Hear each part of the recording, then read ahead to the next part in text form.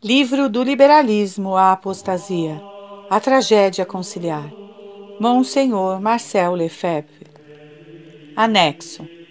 Comissão Central Pontifícia Preparatória do Concílio Vaticano II Esquema de uma Constituição para a Igreja proposta pela Comissão Teológica. Segunda parte, capítulo 9 Esquema sobre as relações entre a Igreja e o Estado Excelentíssimo e Reverendíssimo Senhor Cardeal Alfredo Ottaviani. Relator. Nota: O esquema doutrinal apresentado pelo Cardeal Ottaviani, em sua versão original latina, contava com sete páginas de texto e 16 páginas de referências, desde Pio VI, 1790, até João 23, 1959 foi deixado de lado desde a primeira sessão do concílio e substituído pelo esquema preparado no Secretariado para a Unidade dos Cristãos, sob direção do cardeal Bea. Este segundo esquema, que pretendia ser pastoral, contava com 14 páginas, sem nenhuma referência ao magistério precedente. O esquema Ottaviani não conta com uma autoridade de magistério mas representa o estado da doutrina católica sobre a questão na véspera do Vaticano II e expressa substancialmente a doutrina que o concílio deveria ter exposto se não houvesse sido desviado de sua finalidade pelo golpe de Estado daqueles que fizeram dele os Estados Gerais do Povo de Deus, um segundo 1789. Notemos ainda o fato de que o concílio teria podido acrescentar a este trabalho todas as explicações e melhoras que achasse conveniente. 1. Um, princípio: distinção entre a Igreja e a sociedade civil e subordinação do fim da cidade ao fim da Igreja. O homem destinado por Deus a um fim sobrenatural tem necessidade da Igreja e da sociedade civil para alcançar sua plena perfeição.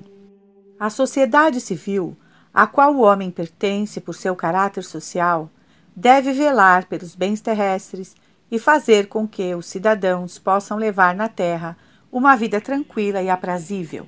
1 Timóteo 2:2. A igreja, a qual o homem deve se incorporar pela sua vocação sobrenatural, foi fundada por Deus para que, estendendo-se sempre mais, conduz os fiéis a seu fim eterno através de sua doutrina, seus sacramentos, sua oração e suas leis. Cada uma dessas sociedades conta com as faculdades necessárias para cumprir devidamente sua própria missão. Cada uma é também perfeita, ou seja, soberana em sua organização e, portanto, independente da outra, com seu próprio poder legislativo, judicial e executivo. Esta distinção das duas cidades, como ensina uma constante tradição, repousa nas palavras do Senhor. Dai a César o que é de César e a Deus o que é de Deus. Mateus 22, 2. Entretanto, visto que essas duas sociedades exercem seu poder sobre as mesmas pessoas e frequentemente a propósito de um mesmo objeto, não podem ignorar-se mutuamente devem, inclusive, proceder em perfeita harmonia, a fim de poderem prosperar juntas com seus membros. O Santo Concílio, com a intenção de ensinar quais as relações que devem existir entre esses dois poderes, segundo a natureza de cada um, declara que, em primeiro lugar, deve-se ter como verdadeiro que tanto a Igreja como a sociedade civil foram instituídas para a utilidade do homem que a felicidade temporal, confiada ao cuidado do poder civil, não vale nada para o homem se ele perde a sua alma. Portanto, o fim da sociedade civil nunca deve ser procurado com a exclusão ou prejuízo do fim último do homem, a saber, sua salvação eterna. 2. O poder da Igreja e seus limites. Os deveres da Igreja com o poder civil. Como o poder da Igreja se estende a tudo que conduz os homens para a salvação eterna, como o que só se refere à felicidade temporal está sob a autoridade civil. Segue-se que a Igreja não se ocupa das realidades temporais, a não ser quando estão ordenadas ao fim sobrenatural. Quanto aos atos ordenados tanto ao fim da Igreja quanto à vida da sociedade civil, casamento, educação dos filhos, etc., os direitos do poder civil devem ser exercidos de tal modo que, segundo o juízo da Igreja, os bens superiores da ordem sobrenatural não sofram nenhum dano. Nas outras atividades temporais, que, respeitada a lei divina, podem ser consideradas de diversas maneiras, a Igreja não se intromete de nenhuma maneira. Guardiã de seu direito, perfeitamente respeitosa do direito do outro, a Igreja julga que não lhe cabe opinar na escolha da forma de governo nas instituições próprias do âmbito civil das nações cristãs. Das diversas formas de governo, ela não despreza nenhuma, desde que a religião e a moral estejam a salvo. Assim como a Igreja não renuncia à sua própria liberdade, também não impede o poder civil de usar suas leis e seus direitos. Que a Igreja, no desempenho de sua missão, proporciona grandes bens à sociedade civil, os chefes das nações deveriam reconhecê-lo. Com efeito, a própria Igreja coopera para que, praticando a virtude e a piedade cristãs, os cidadãos se tornem bons. E se eles o forem, tal como ordena a doutrina cristã, conforme o testemunho de Santo Agostinho, grande será o benefício público, sem dúvida alguma. Também aos cidadãos a Igreja impõe a obrigação de obedecer às ordens legítimas, não apenas por medo do castigo, mas por motivo de consciência. Romanos 13, 15. Quanto àqueles a quem foi confiado o governo do país, ela lhes lembra a obrigação de exercer sua função, não pela ambição do poder, mas para o bem dos cidadãos, pois terão que prestar contas a Deus. Hebreus 13, 17. Do poder que ele lhes confiou. Finalmente, a Igreja recomenda o respeito às leis naturais e sobrenaturais, em virtude das quais toda a ordem civil entre os cidadãos e entre as nações pode se realizar em paz e em justiça. 3. Deveres religiosos do poder civil. O poder civil não pode ser indiferente a respeito da religião. Instituído por Deus para ajudar os homens e adquirir uma perfeição verdadeiramente humana, deve não somente dar a seus súditos a possibilidade de procurar os bens temporais, materiais e intelectuais, mas também favorecer a afluência dos bens espirituais que lhes permitam levar uma vida humana de maneira religiosa. Entre estes bens, nada mais importante do que conhecer e reconhecer a Deus e posteriormente cumprir seus deveres para com Ele. Aí está o fundamento de toda a virtude privada e ainda mais da pública. Estes deveres para com Deus, para com a majestade divina, obrigam não somente a cada um dos cidadãos, mas também ao poder civil, que nos atos públicos representa a sociedade civil. Deus é o autor da sociedade civil e a fonte de todos os bens que por meio dela chegam a todos os seus membros. A sociedade civil deve, portanto, honrar e servir a Deus.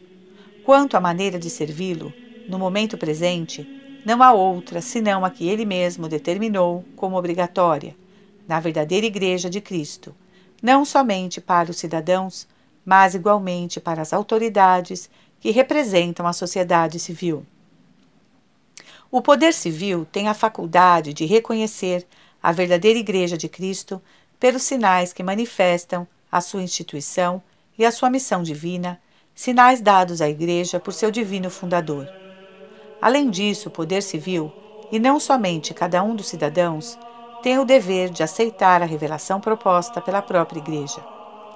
Da mesma maneira, sua legislação deve estar de acordo com os preceitos da lei natural e ter estritamente em conta as leis positivas, tanto divinas como eclesiásticas, destinadas a conduzir os homens à bem-aventurança sobrenatural. Assim como nenhum homem pode servir a Deus do modo estabelecido por Cristo, se não souber claramente que Deus falou por Jesus Cristo, Da mesma maneira, a sociedade civil, enquanto poder civil que representa o povo, não pode fazê-lo se primeiro os cidadãos não tiverem um conhecimento certo do fato da revelação. Consequentemente, de maneira muito particular, o poder civil deve proteger a plena liberdade da Igreja e não impedir de modo algum que ela leve a cabo integralmente sua missão. Seja no exercício de seu magistério sagrado, seja na ordem e cumprimento do culto, seja na administração dos sacramentos e no cuidado pastoral dos fiéis. A liberdade da Igreja deve ser reconhecida pelo poder civil em tudo o que concerne a sua missão particularmente na escolha e formação dos aspirantes ao sacerdócio, na escolha dos bispos, na livre e mútua comunicação entre o Romano Pontífice e os bispos e os fiéis, na fundação e direção dos institutos de vida religiosa, na publicação e difusão de notícias, na posse e administração de bens temporais, como também, de um modo geral, em todas as atividades em que a Igreja sem discutir os direitos civis, se considera apta para dirigir os homens para o seu fim último, sem excetuar a instrução profana, as obras sociais e muitos outros meios. Por fim, o poder civil tem a grave incumbência de excluir da legislação, do governo e da atividade pública tudo que possa impedir a Igreja de alcançar seu fim eterno. Mais ainda, deve aplicar-se a facilitar a vida fundada sobre os princípios cristãos e absolutamente de acordo com este fim sublime para o qual Deus criou o homem. 4. Princípio geral de aplicação da doutrina exposta. Eis o que a Igreja sempre reconheceu: que o poder eclesiástico e o poder civil mantenham relações e que o poder civil, representando o povo, reconheça a Cristo e a Igreja fundada por ele. 5. Aplicação em uma cidade católica. A doutrina completa exposta pelo Santo Concílio só pode ser aplicada em uma sociedade na qual os cidadãos não apenas são batizados, mas professam a fé católica. Neste caso, são os próprios cidadãos que decidem livremente que a vida civil seja adequada aos princípios católicos e que, assim como diz São Gregório o Grande, o caminho do céu seja mais amplamente aberto.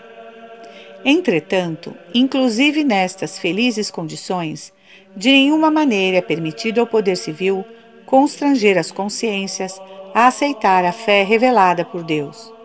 Com efeito, a fé é essencialmente livre e não pode ser objeto de nenhuma coação como ensina a Igreja. Que ninguém seja constrangido a abraçar a fé católica contra seus desejos. SIC Canon 1351. Entretanto, isso não impede que o poder civil procure as condições intelectuais, sociais e morais requeridas para que os fiéis, mesmo os menos instruídos, perseverem com mais facilidade na fé recebida. Então, da mesma maneira que o poder civil se considera no direito de proteger a moralidade pública, assim também para proteger os cidadãos contra a sedução do erro e guardar a cidade na unidade da fé, que é o bem supremo e fonte de inúmeros benefícios, mesmo temporais, o poder civil pode, por si mesmo, regular e moderar as manifestações públicas de outros cultos e defender os cidadãos contra a difusão de falsas doutrinas que, a juízo da Igreja, põe em perigo a salvação eterna. 6. Tolerância religiosa em uma cidade católica. Na defesa da fé verdadeira, deve-se proceder de acordo com as exigências da caridade cristã e da prudência, para que os dissidentes não sejam afastados da Igreja por temor, mas atraídos para ela, e que nem a sociedade nem a Igreja sofram algum prejuízo. Então é necessário considerar sempre o bem comum da Igreja e o bem comum do Estado, em virtude dos quais uma justa tolerância, inclusive sancionada pelas leis, conforme as circunstâncias, pode ser imposta ao poder civil. Isto, por um lado, para evitar maiores males como o escândalo ou a guerra civil, o obstáculo para a conversão à verdadeira fé ou outras coisas parecidas. Por outra parte, para procurar o bem maior, como a cooperação civil e a coexistência pacífica dos cidadãos de religiões diferentes, uma maior liberdade para a Igreja e um cumprimento mais eficaz de sua missão sobrenatural e outros bens semelhantes. Nesta questão, deve-se levar em conta não somente o bem de ordem nacional, mas também o bem da Igreja Universal e o bem civil internacional. Com essa tolerância, o poder civil católico imita o exemplo da divina providência, que permite males dos quais tira maiores bens. Esta tolerância deve ser observada principalmente nos países onde, depois de séculos, existem comunidades não católicas. 7. Aplicação em uma cidade não católica. Nas cidades em que grande parte dos cidadãos não professa a fé católica ou não conhece o fato da revelação, o poder civil não católico deve, em matéria religiosa, ao menos se adaptar aos preceitos da lei natural. Nestas condições, esse poder não católico deve conceder a liberdade civil a todos os cultos que não se opõem à religião natural. Esta liberdade não se opõe aos princípios católicos, pois convém tanto ao bem da Igreja como ao do Estado.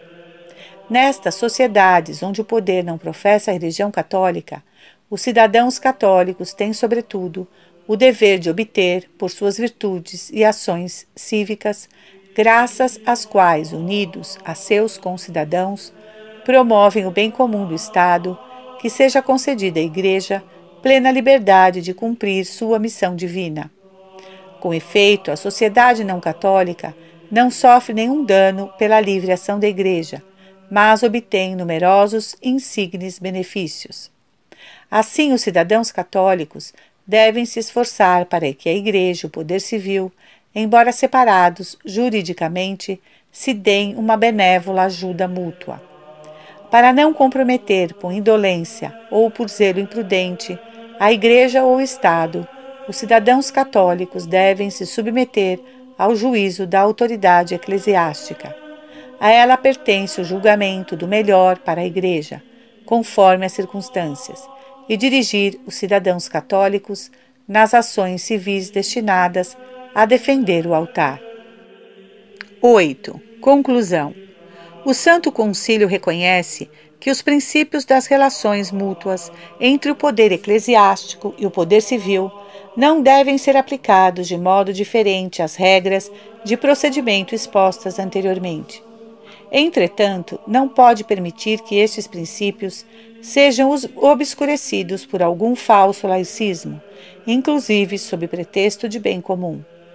Realmente, estes princípios se apoiam nos direitos inexoráveis de Deus, sobre a constituição e missão permanente da Igreja e sobre a natureza social do homem, que, permanecendo sempre a mesma através dos séculos, determina o fim essencial da mesma sociedade civil não obstante a diversidade dos regimes políticos e outras vicissitudes da história.